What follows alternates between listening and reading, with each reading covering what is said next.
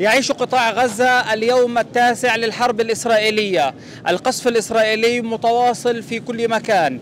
عدد كبير من القتلى والجرحى يتوافد إلى المستشفيات في جميع أنحاء قطاع غزة. هناك جانب آخر من المعاناة.